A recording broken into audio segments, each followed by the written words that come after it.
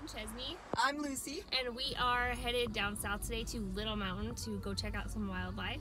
And um, to get there, you get off exit uh, 99 off Interstate 80, and then we're gonna head south on 191 about 50 miles, right, Lucy? Yeah, we're gonna take the lower Sage Creek Road. There's tons of roads you can take to get up on Little Mountain, but that's the one we're gonna head on today. All right, so it's about 7 a.m., so we're gonna head out.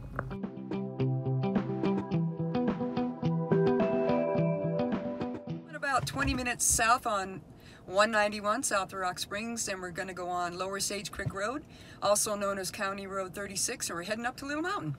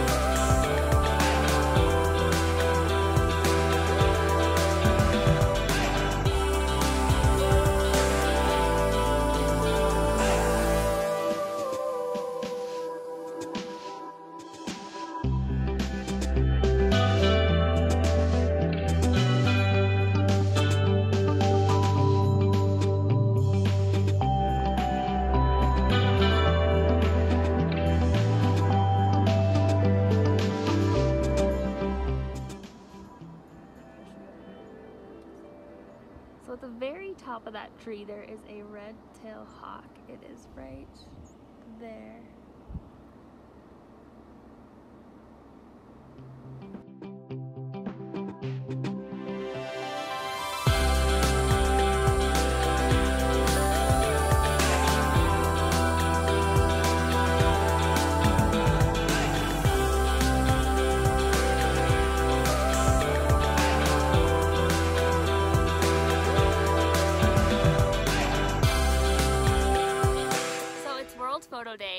Day, and does it get better than this? We are at the top of Little Mountain, and we are just watching some of the hawks, and an eagle actually just flew by, but I was not quick enough. But it was huge. It was very cool to see. So what else have we seen out here? Well, while we're up 9,000 feet, we saw nighthawks and antelope and deer and rabbits. We saw a coyote running by. Mm-hmm. Right now, we're looking into the gorge and Minnie's Gap and the Uintas. It's, it's just a gorgeous view up here. It's gorgeous and a very unique landscape, I think, for Sweetwater County because there's Yeah. like the sagebrush, so you've got like kind of the desert like look, and then there's like a forest just right over there, which we'll go check out in a second. But um, yeah, we traveled from the sagebrush up into the bitterbrush, Mountain Mahogany. Now we're up in the conifers and the beautiful aspen trees, and that's where we keep seeing all the different species popping up their heads. yeah, all right, should we go head over there? You All right. bet. So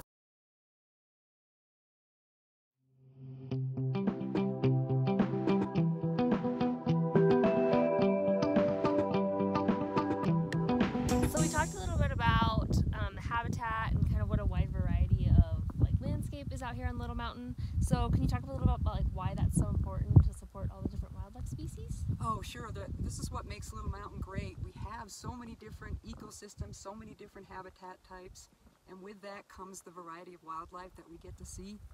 Not too far, right in our own backyard. And in Chesney, we haven't even seen one other vehicle today, or no humans. No, no humans. It's just been us out here today. It's awesome. And what we drove like 20 minutes to get off the road, off the highway, and yeah, we've just been enjoying and seeing all the different landscapes and critters and We really hope that people conserve this area, use it wisely, so that, so that it is here for a long time to come.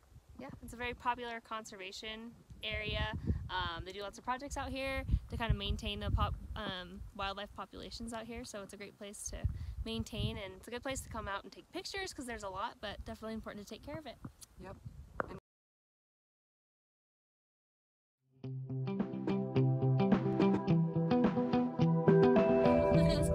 So we're already heading down the mountain and it's already 82 degrees. So we, we still saw plenty of wildlife. Sometimes you'll come up here and you won't see a lot of wildlife, but we saw quite a few species today. But we started off at 51 degrees and it's now 82 degrees. So we're pretty impressed. We still saw lots of critters. So that's a reminder to bring plenty of water because you're out in the middle of nowhere here. But uh, even if you don't see wildlife, there's plenty of roads to hike around on, walk around. And plenty of beautiful scenic views to see while you're up here, if the wildlife doesn't show up like they're supposed to. Uh, we're getting ready to head back up the mountain. So um, I wanted to talk a little bit about, as I head up this big hill, I just want to talk a little bit about bringing an appropriate vehicle out here. I would highly suggest an all-wheel drive vehicle or a four-wheel drive vehicle with high clearance. Um, the roads are a little steep and um, it is all like sandstone clayy, so if it did start to rain, it would get slick out here. So it's definitely important to come prepared.